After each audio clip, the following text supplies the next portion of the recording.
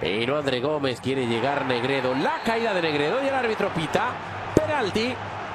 El árbitro indicado penalti. Nada fino Diogo, teniendo en cuenta además. Mira la pelota parejo hacia el balón parejo. El golpeo. Gol. Gol.